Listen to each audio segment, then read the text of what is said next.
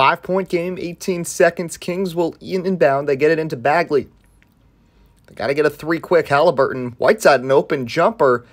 Kings wasting a lot of time. Morris, the three. It's good. Two point game, no timeouts for Brooklyn. Claxton tries to get it in. It's tipped and stolen by Buddy Hield. Hield dribbles back, kicks to the corner. Morris for the lead. No! Rebound Bagley. The putback is in. The Kings have tied it after being down 10 with a minute left. Nets frustrated. Durant heaves it for the win. Oh, it's good. Kevin Durant, the game winner, and Brooklyn survives at the Barclays Center.